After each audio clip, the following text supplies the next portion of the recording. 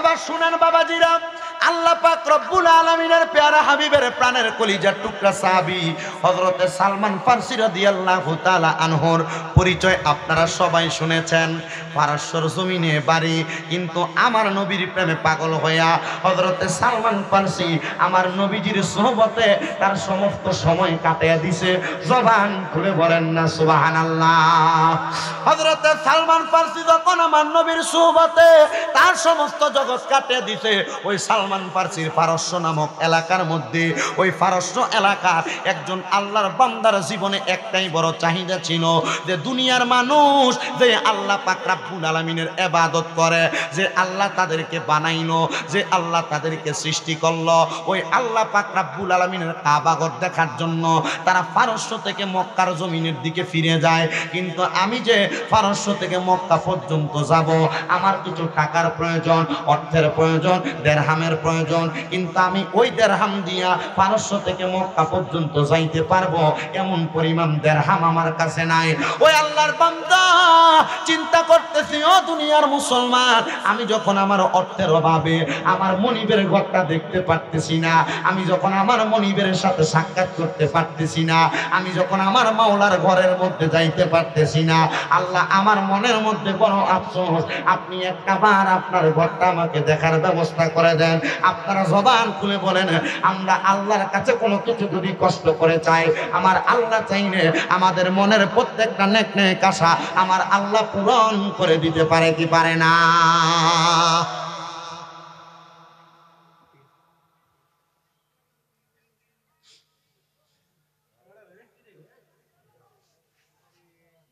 আবার লাগে রাখছে। মানে ব্যাবলা একটা মোবাইল লই আইছে, মনে হচ্ছে দেখাইতেছে।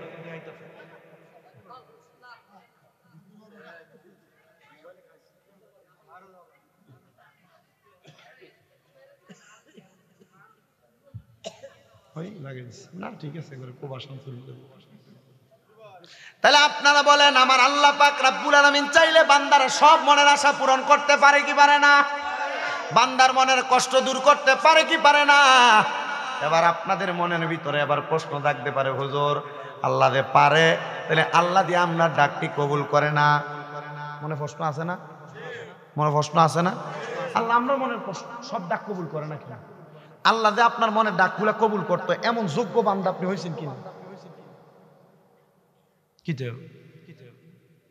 এমন যোগ্য বান্ধা আপনি হয়েছেন কিনা?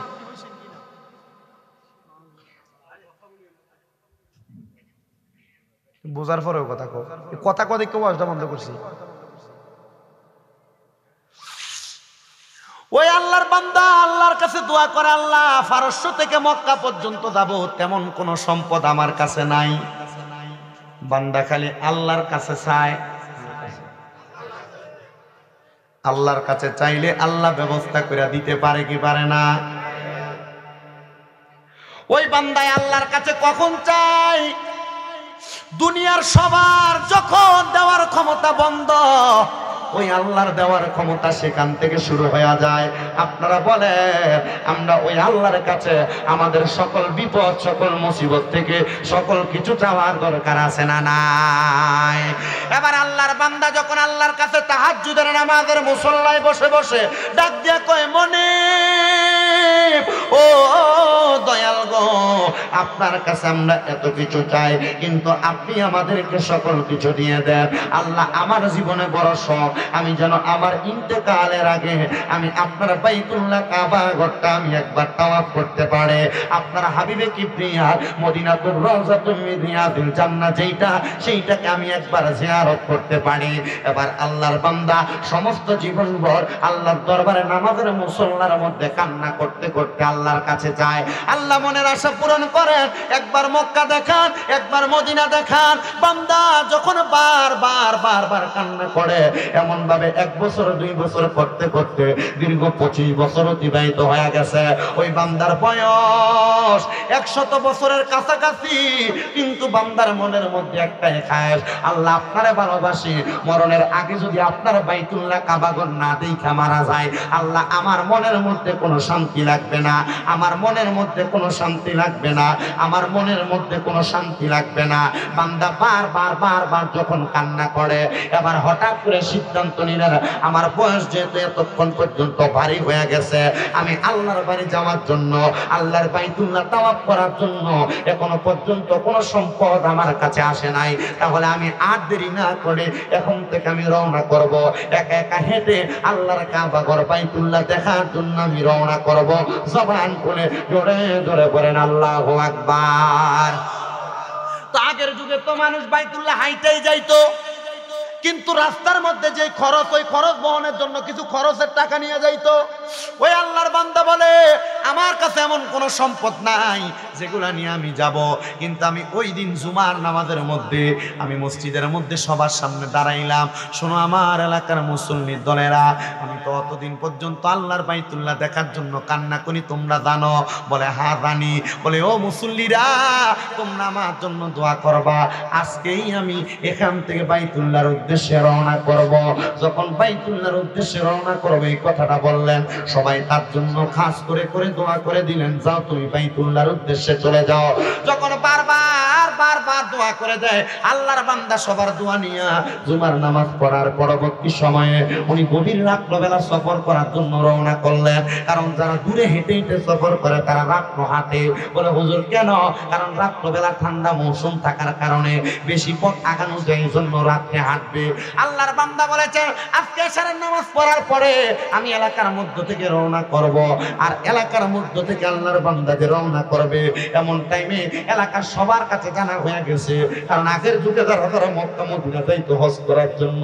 এলাকাবাসীরা তার সামনে যা বলতো, এ হাদি সাহেব, আপনার কাছে আমার একটা সালাম দিলাম। রসুলের রওজা মুবারকে আমার সালামটা পৌঁছে দিবেন। আর বর্তমান জামানায় মানুষ কোন দিক দিয়ে হজে যায়, কখন, কীভাবে, কি করে, মানুষ এগুলা টেরও পায় না। আর হজে যাইলে দোকানে বৈশা বৈশা একজন আরেকজনের সমালোচনা করে। বলে, তে হজে যাইব, তার ব্যাপার। আমরা এগুলার মধ্যে কান দেওয়ার দরকার কি? না মুসলমান, আগের মুসলমানেরা আরেকজন মুসলমান হজের মধ্যে গেলে তার সামনে যে তার কাছ থেকে দোয়া চাইতো, আর বলতো, তুমি যখন বাইতুল্লাহ দৈরা দৈরা দোয়া করবা, ওই সময় আমার নামটা একবার মনে করে দোয়া কইর। তুমি যখন মদিনা শরীফের রওজায় আসারে সালাম দিবা, যখন দোয়া করবা, আমার নামটা স্মরণ করে করে দোয়া কইর। তুমি যখন সাফা মারোয়ার মধ্যে দৌড়াদৌড়ি করবা, ওই সময় আমি বান্দাটার নামটা মনে রাখো আল্লাহর বান্দা মক্কার পথে রওনা করেছে। রাস্তার মধ্যে কত মানুষ কত মানুষ, আল্লাহর বান্দাকে স্বাগতম স্বাগতম জানায় ওয়া সাহালান মারহাবান রহমান আল্লাহর মেহমান, আল্লাহর ঘরের দিকে যাচ্ছেন আমাদের জন্য আপনি দোয়া করবেন। এমন ভাবে বারবার বারবার যখন সবাই দোয়া করে, ওই আল্লাহর বান্দার কাছে কি কোনো টাকা আছে? টাকা নাই, নিয়ত করছে কেমনে দেব? হাইটা হাইটা যাইব। আর এমন টাইমে ওই পারস্য সালমান ফার্সির এলাকার একজন মহিলা, বুড়ো মানুষ, লাঠি বট দিয়া দিয়া মাঝরাতার সামনের মধ্যে আইসা দাঁড়াইছে। এ আল্লাহর বান্দা, আমার দুইজন নাতি আজকে জুমার নামাজ পড়তে দেয়া খবর পাইছে। তুমি নাকি আজকে এসানের নামাজের পরে বাইতুল্লাহ তাওয়াফের উদ্দেশ্যে রওনা করতেছ? আল্লাহর বান্দা, আমার জীবনে অনেক বড় শখ ছিল। আমার জীবনে অনেক বড় শখ ছিল। আমি বাইতুল্লাহ তাওয়াফ করব, মদিনা শরীফ জিয়ারত করব। কিন্তু আমার এমন কোন পুরুষ মানুষ আমার বাড়িতে নাই দেনি আমার মক্কা, মদিনা দেখাইবো। ছোট ছোট দুইটা নাতি, তাদের সেই সামর্থ্য নাই, ছোট মানুষ। কিন্তু আমি ওই বাইতুল্লাহ যাওয়ার জন্য আজ থেকে অনেক বছর পর্যন্ত, এখন পর্যন্ত আমি অনেকগুলা দেড়হাম জোগাড় করছি। আল্লাহর বান্দা জিজ্ঞাসা করে, মা আপনি কত দেড়হাম জোগাড় করছেন বাইতুল্লাহ যাওয়ার জন্য? মহিলা কয়, হুজুর, আমি শুধু জমাইছি, আমি গুনতে পারি নাই। এই নেন, আমার দেড়হামগুলো আমি আপনারে দিলাম। শুধু এটার বিনিময় আপনি একবার আমার সালামটা রহমাতুল্লিল আলামিন নবীর দরবারে দিয়া দিয়ে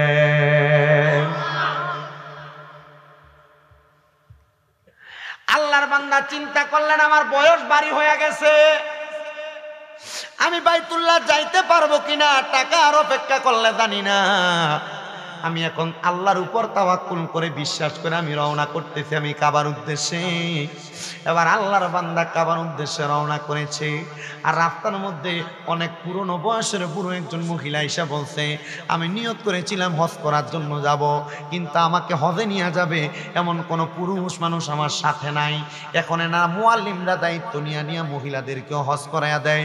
কিন্তু মোয়াল্লিমরা মহিলাদেরকে হজ করাইব কেমনে? মোয়াল্লিমরা মহিলাদেরকে নিয়ে এমন সাইরা দেয়। কি চাও? গেছেন না আপনি? মাসুদ মিয়ার আব্বা গেলাম গেছেন নি মজা লাগছে নি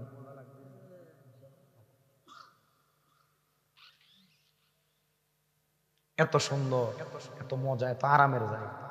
জন্য আশেক বলছে, ওরে ভালোবাসার জায়গা মদিনা, ভালো লাগার জায়গা মদিনা, বল ভালোবাসার জায়গা মদিনা, ভালো লাগার জায়গা মদিনা, বল ভালোবাসার জায়গা মদিনা, ভালো লাগার জায়গা মদিনা, এত ভালোবাসা কেউ তো দিবে না, এত ভালোবাসা কোথায় পাবে না?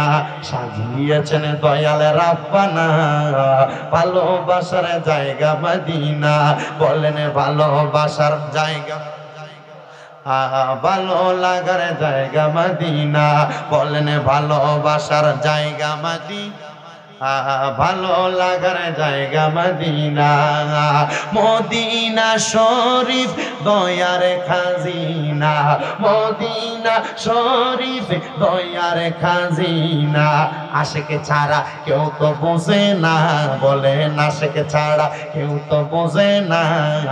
ভালোবাসার জায়গা মদিনা। মদিনা শরীফ কিসের খাজিনা? মা কথা কয় না। আরে, দয়ার খাজিনা। রহমতের খাজিনা। আল্লাহ নবী দোয়া করছে, আল্লাহ, আপনি মক্কা শরীফের চাইতে ডাবল বরকত দান করেন। আল্লাহ কইছে হ্যাঁ মক্কা শরীফের চাইতে ডাবল বরকত মদিনা শরীফ। এটা আশেক ছাড়া কেউ বুঝবে না। এ দেখবেন দুই দিন পরে পরে ফতুয়া বাইর হয়ে দেবো মক্কায় যাব হজ করার জন্য, মদিনা যাওয়া দরকার নেই। হয়নি এখন সোশ্যাল মিডিয়াতে অল্প কয়েকদিন আগে একটা নিউজ দেখছি। কোনো মানুষ মক্কায় যদি উমরা করার জন্য দুই তিনবারও যায়, বছরে একবার শুধু মদিনা যাইতে পারব। এটা কি ইহুদিরা চাইল না? ইহুদিরা চাইল না? কারণ মুসলমানের শান্তির জায়গা, প্রশান্তির জায়গা মদিনা শরীফ। একটু মহাব্বতে, মদিনা শরীফ, দয়ার খাজিনা, মদিনা শরীফ, দয়ার খাজিনা। আশেকে ছাড়া অন্য বোঝে না, বলেন আশেকে ছাড়া কেউ তো বোঝে না। ভালোবাসার জায়গা মদিনা, বলেন ভালোবাসার জায়গা মদিনা। ভালো লাগার জায়গা মদিনা, বলেন ভালোবাসার ভালো লাগার আমার বাবাজিরা, বন্ধুরা, ওই মহিলা মক্কা যাওয়ার জন্য দেড়হাম জমাইছে। আল্লাহর বান্দা ফারেসের ডাক দিয়া কয়, ও মা, আপনি কত দেড়হাম জমাইছেন? মহিলা ডাক দিয়া কয়, বাবা, মক্কায় যাওয়ার ইচ্ছা হয়েছে তখন থেকে জমানো শুরু করছি? এখন পর্যন্ত জমা গুলা টাকাগুলো আমি গুনতে পারি নাই। টাকার পুটলিটা আল্লাহর বান্দার হাতের মধ্যে দিয়া দিছে। আল্লাহর বান্দা আল্লাহ, আমি যখন ঘর থেকে বের হইতেছিলাম, আমি আপনার কাছে দোয়া করছি। আল্লাহ হুম্মা বিসমিল্লাহি তাওয়াক্কালতু আলাল্লাহ। আল্লাহ আপনি কবুল করেন, আপনার নামে শুরু করতেছি এবং আপনার উপর আমি ভরসা করেছি। বান্দা শুধু দোয়া করছে আল্লাহ হুম্মা বিসমিল্লাহি তাওয়াক্কালতু আলাল্লাহ। আপনারা মনে মনে আরেকবার মনে মনে পড়েন আল্লাহ হুম্মা বিসমিল্লাহি তাওয়াক্কালতু আলাল্লাহ। হে আল্লাহ কবুল করেন, আপনার নামে শুরু করতেছি এবং আপনার উপর ভরসা করেছি। বান্দা কয়, আল্লাহর কসম, মহিলাদের দেড়হামগুলো আমার হাতের মধ্যে দিছে। আমি তাকে দেখলাম। একটা মানুষ নয়, এই দেড়হাম দিয়া আরেকজন মানুষ হজ করতে পারবে। আমি ওই দেড়হামগুলা দেখা মহিলাকে বললাম, মা গো, মা, আপনি আর দেরি করবেন না। আমার সাথে চলেন, আমি আপনারে হজ করামো। মহিলা ডাক দিয়া কই হুজুর আপনি আমার জন্য গাইরে মাহারাম আপনি আমার চেহারা দেখতে পারবেন না। কিন্তু আপনি আমার হজে কেন নিবেন? আপনি আপনার পথে চইলা যান। আল্লাহর কসম, আমার আল্লাহ যদি আমারে কবুল করে, আমারে আপনার পাক রাব্বুল আলামিনের ঘর তাওয়াফ করার সুযোগ করে দিবে। চাইলে সম্ভব কি আল্লাহ চাইলে সম্ভব। দামটা আল্লাহর কাছে চাই না তো। আমার ঘরে ফোলা ফাইনি সবই আমার কাছে দোয়া হইতেছে আবার কইছি হুজুর আমরা লাগে দোয়া করি। আমি কিছু তোমরা এলাকা পঁয়ষট্টি জন কই দিলে তোমরা। পঁয়ষট্টি সাতষট্টি জন ফোলা ফাইনি একসাথে। বলছি মিল থাকবা। তোমরা চাইলে মেম্বার চেয়ারম্যান বানাই পারবা। পঁয়ষট্টি ফোলান যদি এক জায়গায় খারো কথা কয় না। ঠিক আছে না? যদি একটা ফঙ্গট কেরা জানি ক হুজুর দোয়া করি না মাইন্ড ফোরাইতে পারি। যার এতে বড় শতান। হেতে না দিব না খারিত না। জানে না কি কই গেলাম হ্যাঁ আমি চিন্তা করি তার মন মানসিকতা কতটুক কুচ্ছিত হলে কথাতে আমার পর্যন্ত ইয়ে করতে পারে। আমি তুমি বিয়ে করবা? মেয়ে খারাপ কথা, তোমার মনে বুকির লেগে। কথা কয় না কেন? এর লাগে ওই আমরা মসজিদের মাফিলা কয়ে দিছি, বিশ বছর হয়ে গেলে ধরে ধরে বিয়ে করাই দিবে। হুজুর খাবাইবো কিতা? হ, এই খাবারের চিন্তা আপনি করেন না। আল্লাহ খাইরুর রাজিকিন। আল্লাহ উত্তম রিজিক দাতা। আমনের ফুতে যে আকাম কুকাম করে বেড়াইবো, তখন এগুলোর গুণা তো আমার দল লাগবো। কথা কয় না কেন? হ্যাঁ?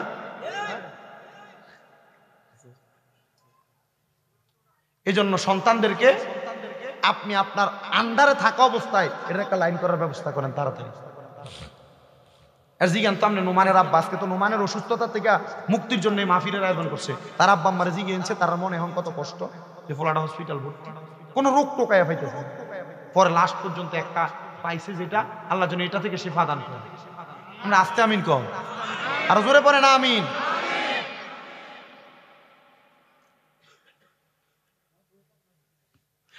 আল্লাহর বান্দা চলে গেছে, হজ করার জন্য। মহিলা কয়, হুজুর, আমি আপনার সঙ্গে যাইতে পারব না। আপনি আমার এখান থেকে ছেড়ে দেন, আপনার হজ করার দায়িত্ব, আমি আপনার কাছে আমার হাদিয়াগুলা প্রদান করলাম। ওই আল্লাহর বান্দাকে আমি গেলাম হজ করার জন্য মক্কায়। আমি তাকে দেখলাম রে, যেই মহিলা আমার দেড়হাম দিয়া সহযোগিতা করেছে, আমি বাইতুল্লাহ শরীফের ফতম সক করে তাওয়াফ দিতেছি, আর আমি দেখছি ওই মুরব্বী মহিলা হাতরে আসোয়াদের মধ্যে সম্মান দিতেছে।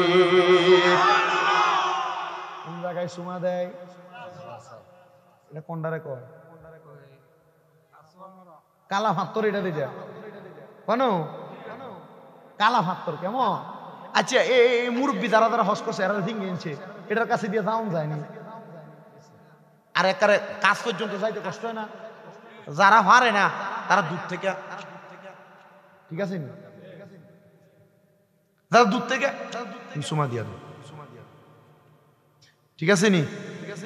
কেউ কোন রকম ওই যে ব্যক্তি ধরে, ধরতে পারে, তার পিছন দিয়ে হাত দিয়া হাতে সুমা দেয় আর যারা একটু শক্তিশালী, তারা মোটামুটি আগাইতে পারে, এরা যায় একটু সময় আল্লাহর ওই বান্দা চিন্তা করল, উমা আমি তো যৌবক, আমি যাইতে পারলাম না, আর এই মহিলা তো লাঠি বট দিয়ে হাঁটছে। আল্লাহর বান্দা ওই জায়গায় থাকা অবস্থায় চিন্তা করল, আমি আমার তাওয়াফটা শেষ করিয়ে মহিলার লোক কথা কমু দে আমার আগে কেমনি বাইতুল্লাহ মহিলা আড়ে কি দিয়া জামার তো শখ আছিল যাইতে তো।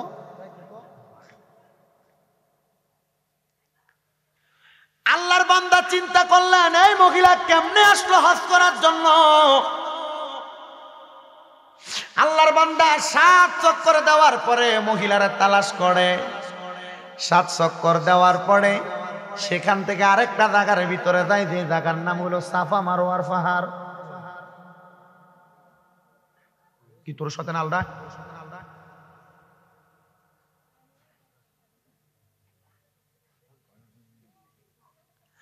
আল্লাহর বান্দা দেখে সে করার পরে যখন সাফা মারোয়ার পান্তরের দিকে তাকাইছে তাকে দেখতেছে ওই বুড়া মহিলা সাফা মারোয়ার মধ্যে দৌড়াদৌড়ি করতেছে। মুরব্বী মানুষ এলাকায় হাঁটতে পারে না। হজনিয়া দিলে সাফা মারোয়ায় দৌড়াদৌড়ি করে। বলে, শক্তি পাইলেন কেমনে?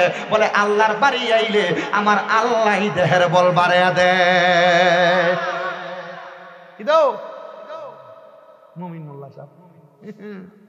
কারণ আমার এক উপকার করে কোনো কথা না, চাইছিলেন না। যা খুশি হয়ে না, আমার এখনও হয়েছে না আলহামদুলিল্লাহ। দিব নাকি একবার। হয়ে হ্যাঁ? আমার নাকে যে পলিবাস হয়েছে আমি আপনার এলাকায় আসার আগে আমার আমার এক ভাইও ওই খবর দিছে যে বঙ্গুয়া মমিল মোল্লা নামক এক বেড়া আছে। যাইতাম আহনে আমরা মোটামুটি দেখলাম যে আমরা ঘরে বইছি। মানে কিতারি সুনের মতো না? লাগাই দেন একবার ইচ্ছা মতো জ্বলছে। বেশি জ্বলছে। বলছে দুইটা মিনিট শুধু একটু অপেক্ষা করবে। ঠিক অপেক্ষা করছি? দিয়ে ভাই যে তেল তুল দিতে কইছে কিন্তু ওষুধ একটা দিতেন কি জানি এটা জানি অনেক ঘুমাইছে খালি। যেটা দিছে, ব্যথা থেকে মুক্ত অনেক লেগে এটা ওষুধ ঘুমান অনেক ঘুমাইছে কিন্তু ঠিকই কইছে, সাত দিনের মাথায় ছেড়ে যাব। ছয় দিনের দিন আসরের নামাজের পরে হ্যাক করে মারছি, দিয়ে শাক কাটতে পড়ছে রক্ত। এটা তো কামড়া। এরপর থেকে তো এমনি ছিল এমনি কামো। এমনি তো কাম হইতো এমন আরও বেশি কামো। সর্দিটা সারতো না গেলাম খেলা পারে দোয়া বেশি করে করতাম। আচ্ছা। আমার মনে আছে, বঙ্গা মাহফিলের হাদিয়াটা স্টেজে উঠোনে দিতেছে আর কইতাছে, আমি হাদিয়া দিয়া পাঁচজন বক্তা দৌড়ে চললাম আপনার একা দিছি হাদিয়াটা। আপনি মনে করেন না আমি বুঝলে গেছি আমি কিন্তু এন দিয়ে বলছি না ইয়া এই এনে টো আই কো মমিন মোল্লারা আইজো বসেন। আল্লাহ কবুল করক, জোরে কোন আমিন। তাহলে মক্কা, মদিনা গেলে আরও বেশি বুড়ো যদি হয়, এটা শরীরে শক্তি দেয় কি? আল্লাহর বান্দাকে আমি তাকে দেখলাম রে। ওই মহিলাটা সাফা মারোয় এমন ভাবে দৌড়াদৌড়ি করে। কোন যুবতী মহিলা এমন ভাবে দৌড়াদৌড়ি করতে পারবে না। আমি এবার ওই মহিলার সঙ্গে কথা বলার জন্য সাফা মারোয়ার কাছে গেলাম। কিন্তু সাফা মারোয়ার কাছে যে মহিলারে পাইলাম না। আমি আবার সাফা মারোয়ার কাছ থেকে, আমি এবার যাইতে যাইতে যাইতে যাইতে আরাফার ময়দানে গেলাম। ওই জায়গায় কথা বলার সুযোগ পাইলাম না। সেখান থেকে আমি হজের কর্ম সম্পাদন কইরা আমি মদিনা শরীফে জিয়ারতের জন্য গেলাম। মদিনা শরীফের বাবু সালাম দরজা দিয়ে যখন প্রবেশ করলাম, আমি দেখলাম মহিলাটা সবার আগে সালাম দিয়া দিয়া যাইতে। সবার আগে সালাম দিয়া দিয়া যায়। আমি এইটা দেখা আমিও মহিলার লাগল পাইলাম না। চিন্তা করলাম, ওই মহিলাটা কেমনে মক্কা মদিনা আইলো দেখছেন নিরে বঙ্গু আর বাবারা, একটা মানুষ অন্তরে অন্তরে হজ করতে যাইতে পারব না, তার দেড়হাম শুধু দান করে দিছে, আর যেই ব্যাগটা দেড়হাম লইয়া হজ করতে আইছে আয়া দেখতেছে একজন গুরু বি মহিলা হজ করতেছে একা একা গুইরা গুইরা আমার আল্লাহ পাক চাইলে কি না সম্ভব এই জন্য আশেক শুধু মনে মনে কয় মনে বড় আশা ছিল, যাব মদিনায়। বলেন মনে বড়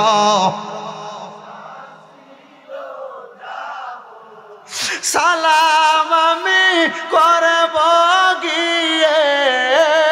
সালাম আমি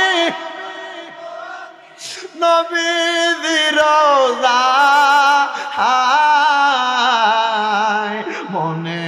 বড় আশা ছিল? নাই বলেন মনে বড় আশা। সালাম আমি করব গিয়ে। সালাম। আসানুল্লাহর ফুজি নবীজির রোজায়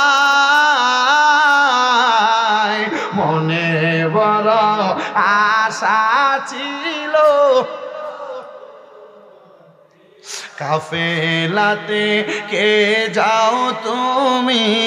কে যাও মদিনায়? এ গরিবের সালাম দিও মদিনার বাদশায়। কাফেলাতে কে যাও তুমি? কে যাও মদিনায়? সালাম দিও মদিনার বাদশায়। আমার আশায় আছে সম্বল নাই। আশা করে কি উপায় অনেক বড় আশা মদিনাই বলেন মনে বড়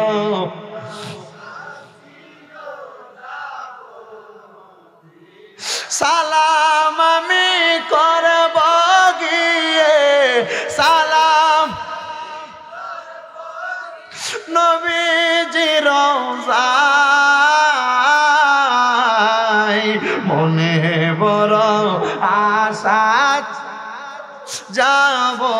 মদিনায় হাজিদের যাত্রা পথে দাঁড়াই থাকি পথের দ্বারে। হাজিদের যাত্রা পথে দাঁড়াই থাকি পথের দ্বারে। যাইও গিয়ে আমার সালাম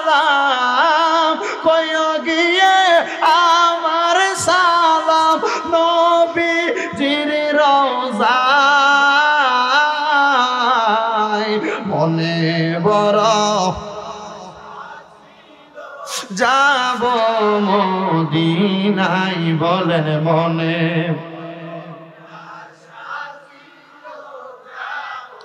সালাম আমি করব গিয়ে। সালাম নবীজি রোজায়। মনে বড় আশা ছিল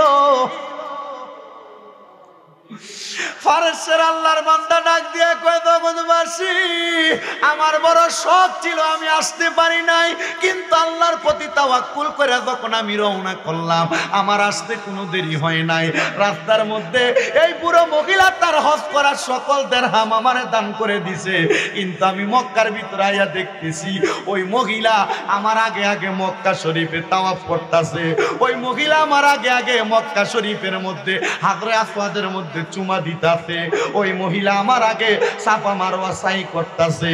মদিনা শরীফে যায় দেখি, ওই মহিলা আমার আগে নবীর রওজায় সালাম দিতেছে। এবার আমি রাস্তার মধ্যে দাঁড়াইলাম। ওই মহিলা কখন আমার সামনে দিয়া যায়? আমি ওই মহিলার কাছে তার জবাবটা জানতে চাইব। মহিলা দেড়হাম তো আমারে দান করে দিছে। ওই মহিলা কেমনে আমার কাছে আসছে? এবার এই মক্কার ঘরের মধ্যে আসছে। আল্লাহর বান্দা ডাক দিয়া কয়, আমি যখন রাস্তার মধ্যে দাঁড়াইলাম, মদিনা শরীফ থেকে কত মানুষ একজন একজন করে বের হয়ে যায়, কিন্তু ওই মহিলাকে আমি বের হইতে দেখলাম না। হঠাৎ করে দেখলাম রে, মদিনা শরীফের রাস্তার প্রান্তরের মাঝখানের মধ্যে, কে জানি একটা বড় একটা ওটের পিছনের মধ্যে একজন মহিলারে বসাইয়া সামনের দিকে ওটটারে টানতেছে, ওটটা সামনের দিকে যাইতেছে। যখন আমি ওই মহিলার খোঁজ পাইলাম না, এবার আমি ওই ওটওয়ালারে দাঁড় করাইলাম। এ ওটওয়ালা, আপনি যে ওটের পিঠে বসে একজন মহিলারে নিয়ে যাইতেছেন, এই মহিলার পরিচয় কি? বাড়ি কোন জায়গায়? কয়, আমাদের বাড়ি পারস্যের জমিনে। মহিলা, আপনার সম্পর্কে কি হয়? কয়, মহিলা আমার মা হয়। এবার আল্লাহর বান্দা চিন্তা করে, ওই মহিলা তো বলছে তার আর কেউ নাই। শুধুমাত্র ছোট্ট ছোট্ট দুইটা নাবালক শিশু নাতি আছে। এবার মহিলা যেহেতু তার কেউ নাই, স্বীকার করেছে। ওই মহিলাটা কেমনে স্বীকার করল? কিন্তু এই মহিলার তো একটা সন্তান আছে। ওই মহিলার কোনো সন্তান ছিল না। এবার আল্লাহর বান্দা বললেন, ঠিক আছে, আপনি যান। কিন্তু আবার হতাশাগ্রস্ত চিন্তাগ্রস্ত হয়তো বা মহিলার কোনো নামের সন্তান পেছন থেকে ডাক দেয়, ও ভাই যান আপনি একটু আপনার মাটারে আমারে দেখাইতে পারবেন নি। এবার ওই মাটারে নামাইয়া জিজ্ঞাসা করতেছে, মা গো, মা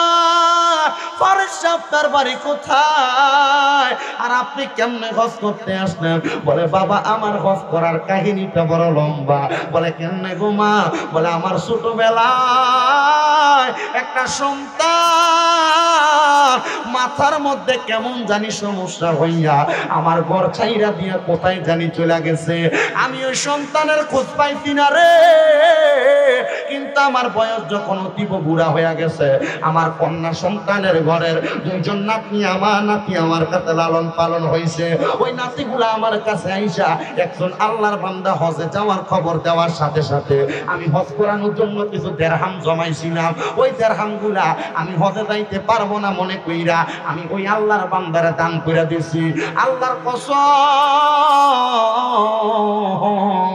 আমার ওই ওই চোদ্দ, পনেরো বছর আগে হারানো সন্তান আমার কাছে ওই দেড়হাম দান কইরা বাড়িতে যাওয়ার পরে দেখতাছি, ওই সন্তান আমার ঘরের দরজার মধ্যে বৈশা রইছে।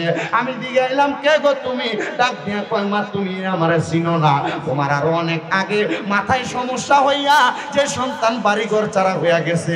আমি ওই সন্তান ওই সন্তান গো মা, আপনি আমি সন্তান রেখে চিনতে পারছেন মা গো আমি নিয়ত করেছি। যেই দিন আমি সম্পদশালী টাকাওয়ালা হমো গো ওই দিন আমি আপনি মারে নিয়ে মক্কা, মদিনা দাম হজ করার জন্য।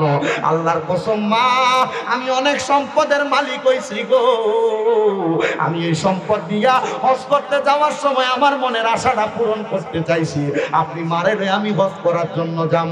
ও হুজুর, আমি হজ করার জন্য গো আমার সন্তান আমারে দামি উটের পিঠে চড়াইয়া হজ করানোর জন্য আনছে। আল্লাহর বান্দা হজ করার রাস্তার মধ্যে খরচের টাকা পাইছি, কিন্তু ওর কিনার মতো কোনো টাকা পাইছি না। আল্লাহর কসম, ওই মহিলাটার বালা থাকার কারণে, ওই মহিলা তার হজের টাকাটা আরেকজন আল্লাহর বান্দারা দান করে দেওয়ার কারণে, ওই মহিলার সন্তান এত বছর পরে মহিলার সাক্ষাৎ দেওয়ার জন্য আগমন করছে। এবার আপনারা বলেন, আমরা আল্লাহর বান্দারা, আল্লাহর কাছে নিয়ত ঠিক কইরা যদি কোনো কিছু চায়, আমার আল্লাহ আমাদের সবার মনের আশা পূরণ করতে পারে কি পারে না? আজকে বঙ্গুয়ার জমিনের মধ্যে নোমানের আব্বা, আম্মা নোমানের কথা স্মরণ করে তার অসুস্থতা থেকে মুক্তি চাইয়া এত সুন্দর জান্নাতের বাগান সাজাইছে। তাদের মনে ওই বিশ্বাস, ওই আকিদা হ্যাঁ আমার সন্তান অসুস্থ হয়ে গেছে। যদি ওয়াজ মাহফিল করায়া আজকের মাহফিলের মধ্যে আমার সন্তানের জন্য দোয়া চাওয়া হয় আর আল্লাহ চাইলে আমাদের সন্তানকে সুস্থ করে দিবে। ওনার একটা সন্তান প্রবাসে আছে। আল্লাহর কাছে শুধু আপনারা আখিরি মুনাজাতের মধ্যে দোয়া করবেন। আল্লাহ যেন বিদেশের সন্তান তারা সহি সালামতে কবুল করে। আর যে নুমান অসুস্থ হয়েছে, আল্লাহ যেন তারা শেফে আদেলা কামেলা নসিব করে। সব বিপদ আপদ থেকে যেন আল্লাহ তারা হেফাজত করে। আপনারা বলেন, এখানে আমরা এত মানুষ দোয়া করব। আল্লাহ পাক রাব্বুল আলামিন চাইলে সবার একজনে দোয়া কবুল কইরা আমার আল্লাহ ওই বান্দারে ভালো বানাইতে পারে কি পারে না? আর জবান খুলে বলেন, পারে কি পারে না? আল্লাহ যেন ওই বান্দিটা হজের টাকা দান করে দেওয়ার কারণে যেমন ভাবে চোদ্দ বছর পরে তার সন্তান ফিরে আইসা, মহিলাটার হজ কবুল করাইছেন, হজ করাইছেন। আল্লাহ চাইলে আজকের মাহফিলের উসিলায় নোমানকে সুস্থতা দান করতে পারে। আল্লাহ যেন রহমাতুল্লিল আলামিন নবীর উসিলায় নোমানকে শেফে আদলা কামেলা দান করে।